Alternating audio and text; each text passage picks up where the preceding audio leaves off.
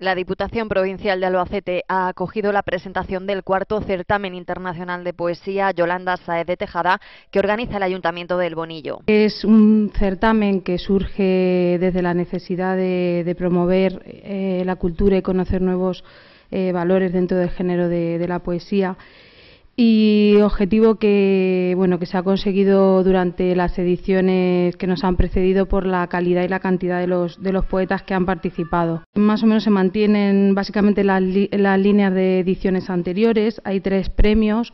No se han reducido las, las cuantías. Son de 1.200, 600 y 400 euros que los autores disponen de, libertad para elegir el tema y la métrica y la extensión eh, de los poemas serán como máximo de 40, de 40 versos. Además del gran nivel de sus participantes, destaca de este certamen su internacionalidad.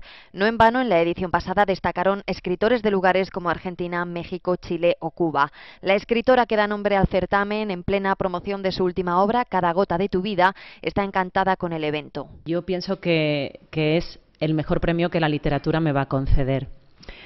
Con lo que empiezo agradeciendo a esta Diputación, a su diputada Fermín, que nos acoja, y a Pilar, la causante de tanto derroche cultural, como concejala del Ayuntamiento del Bonillo, donde prima ¿no? que, las emociones de la poesía sean necesarias en, en, un momento ¿no? en el que la gente está sufriendo y lo está pasando mal.